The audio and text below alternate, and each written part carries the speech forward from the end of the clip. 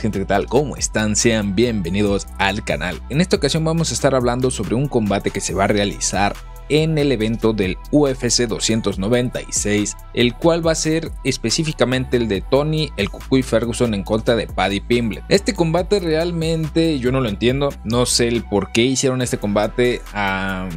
El por qué le siguen dando combates a Tony Ferguson, eso sigue siendo una incógnita para mí. Literal viene de una racha de seis derrotas consecutivas. Tony Ferguson en las últimas tres lo han finalizado. En todas ha salido muy lastimado. Es alguien que ya no está en su mejor nivel. Claramente no está rindiendo como debe rendir un peleador de UFC. Si bien tuvo su etapa muy buena por ahí por el 2017, 2018, en esta época ya prácticamente no le ha ido nada bien. Entonces yo no entiendo el por qué le siguen dando combates a Ferguson.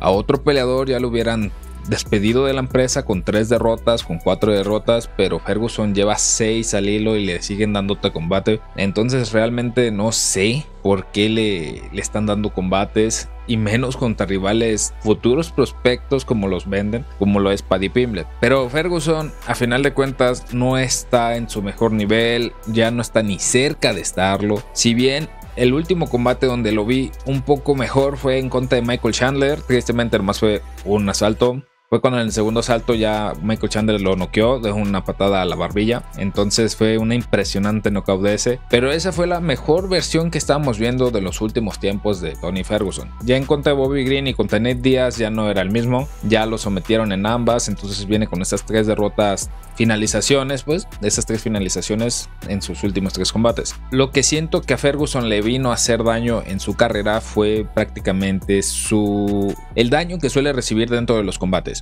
Es alguien que se entrega demasiado en los combates y sufre mucho daño, tiene lo mismo que Nate Diaz, que son peleadores que siempre cumplen, dan show. Siento que por ahí va el por qué le siguen dando combates, porque siempre da show Tony Ferguson. Entonces, al sufrir tanto daño, también el cuerpo se resiente, le pasa algo similar como le está pasando ahorita a Anthony Smith. Ya están resistiendo menos golpes, ya los lastiman más rápido. Entonces es algo que, que no entiendo el por qué le siguen dando combates en vez de cuidar la salud de su peleador, que ya claramente no está en su mejor nivel. A mí por lo general no me gusta ver este tipo de peleadores que nomás se suben a sufrir daño dentro del octágono porque ya es mucha desventaja. Ya suelen pelear contra rivales que están todavía en su mejor momento o están en mejor momento o mantienen un nivel estándar, pero el del peleador como es acá Kukui, cada vez su nivel va más para abajo, entonces es muy complicado que se suba al octágono contra alguien, es mucha desventaja, así déjenmelo. Pero bueno,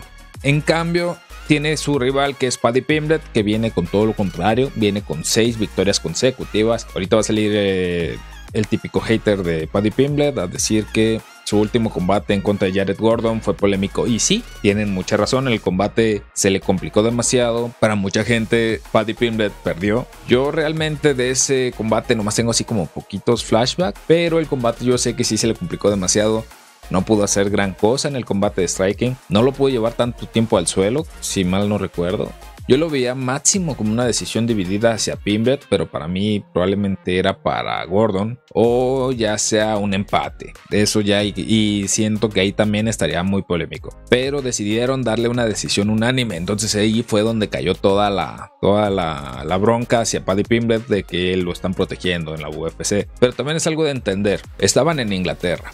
Paddy Pimblet era su casa, no lo van a hacer perder. Eso es simple pasa en todos los deportes como el boxeo. Y aquí en la UFC suele pasar mucho de que protegen a las personas que tienen más nombre para vender más. Porque seamos sinceros, Paddy Pimblett vende mucho más que un Jared Gordon. Entonces a ellos les conviene tener un Paddy Pimblett al 100%, que siga invicto, que siga ganando, para que este siga generándole dinero a la UFC. Es triste, así funciona el deporte.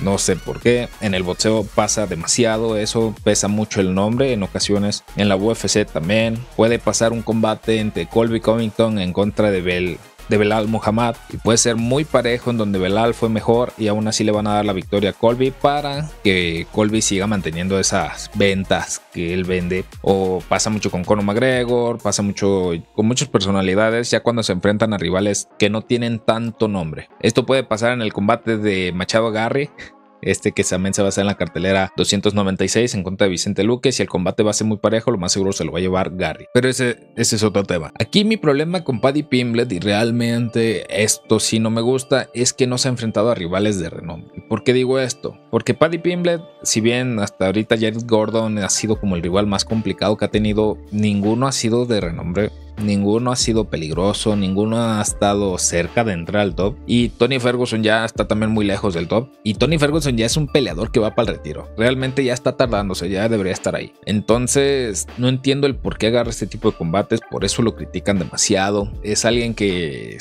dicen muchas personas que agarra combates a modo, que al último se le complicó. Pero también hay que ser sinceros, mucha gente le tira por tirarle.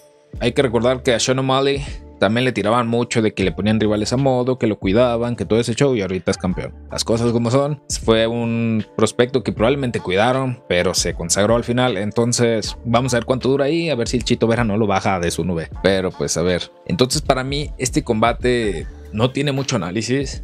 No siento que, yo pueda decir, ah, es que los codos de Tony Ferguson, si lo lleva al suelo y le pega, lo puede abrir. No, Tony Ferguson ya no ha estado ni cerca de ese nivel que tuvo alguna vez. Entonces yo considero que este combate, espero y me equivoque realmente, va a ser un combate de trámite para Paddy Pimblet. Yo siento que lo va a terminar llevando al suelo y lo va a someter. Entonces yo si fuera del equipo de Paddy Pimblet, yo le diría que trate de terminar el combate lo antes posible porque hay que recordar que Tony Ferguson, si bien ahorita no está en su mejor nivel, también esos codos siguen abriendo, siguen, o sea, te pueden ocasionar mucho daño, sus golpes. Entonces, mientras más rápido termines, muchísimo mejor. Yo espero que si Tony Ferguson pierde este combate, se retire ya de una vez. Ya hace falta que se retire estamos ya a final de año, se retiraría terminando el año, con una racha de 7 derrotas bastante dolorosas, pero pues mucha gente lo tiene aquí en su corazón, vimos su mejor versión, fue un muy buen representante en ciertas ocasiones. Yo en mi cabeza tengo la idea de verlo eh, acabando el asalto, quitándose los guantes y dejándolos en el octavo. Espero no se vuelva a subir a otra promotora porque no me sorprendería que más bien se vaya de UFC y entra a PFL. No me sorprendería, ¿eh? Aunque gane, me gustaría que se retirara igualmente. De hecho, sería la mejor opción para retirarse ganando, porque ya te retiras con una victoria, dándole una última alegría a tus fans, si tiene todavía que tiene muchos. Pero lo más seguro, esa victoria, en vez de que se retire con esa victoria, va a querer mantenerse otro año porque va a decir le gané a un prospecto muy cabrón entonces ya tengo yo tengo con qué todavía y va a seguir otro año más. Entonces va a ser complicado vamos a ver qué es lo que le espera a Tony Ferguson. Aquí en porcentajes no me voy a cuidar tanto realmente espero equivocarme. Ahorita va a llegar alguien a decirme vengo del futuro y ganó Ferguson pues qué chingón la verdad. Pero yo le daría un 80-20 a, Ferguson. Ah cabrón. Pero yo le daría un 80 80 Pimblet. Tiene la juventud, tiene ese ánimo, está en su mejor momento. Es aparte alguien más pesado. es alguien que toda su. fuera del combate está como 20 kilos, 30 kilos por arriba. Y solamente baja para. O sea, tiene un problema. Pero pues eso ya es cosa de él. Y bueno, yo hasta aquí voy a dejar el video. Les voy a dejar una pregunta aquí. Para ustedes, déjenme en los comentarios cuánto porcentaje le dan y quién es su favorito para este combate. Obviamente lo más seguro en este combate, muchos van a decir Pimblet, pero no porque les caiga muy bien Pimblet, sino porque Ferguson ya no lo consideran un rival muy complicado. Entonces, ahí abajo déjenmelo, los leo. Hasta aquí voy a dejar el video, si les ha gustado los invito a dejar un me gusta y suscribirse si quieren ver más contenido como este. Ahí abajo también está el botón de dislike, si no les gustó, ahí píquenle, no hay problema, yo no me agüito. Y pues nada, les ha hablado el Mac y nos vemos para la próxima.